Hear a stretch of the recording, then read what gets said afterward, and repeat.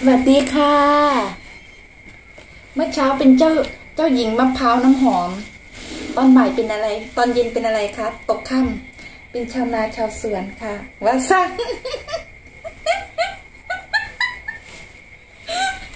แปลงร่างเป็นชาวสวนค่ะ เพิ่งกลับจากทำงาน ก็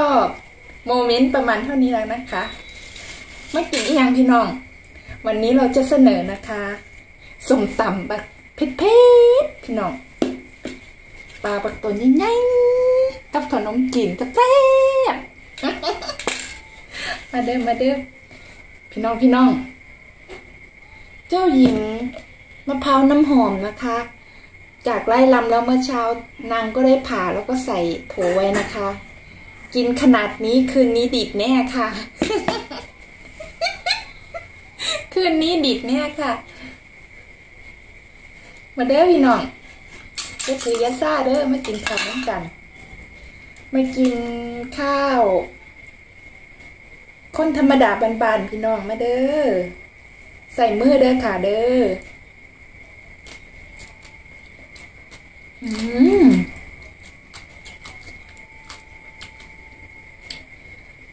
พริกชนิดร้อยเม็ดไหมเนี่ย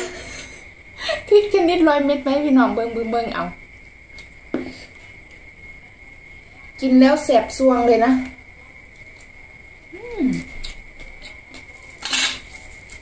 ปลาเผาเหยียบเกียบพี่น้องนี่ก็ปลาเผา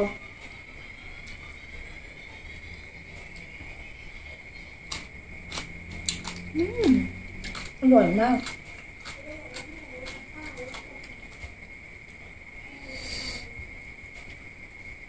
มือนี้บ่มีผักฮอเด้วยพี่น้อง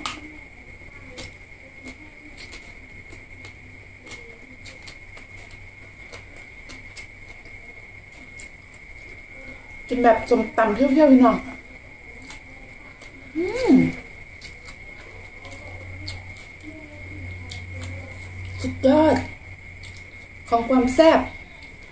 จะบรรยายส้มตำให้ฟังนะคะเผ็ดจิ๊ดจ๊าด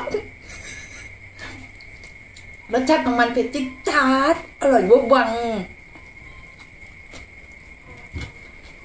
เนื้อปลาเนี่ยมันจะเป็นนุ่มหวานอร่อย ปลานี่พี่น้อง เป็นปลาอย่างน่าจะเป็นปลานิ่มเนื้อของมันจะหวานแซ่บ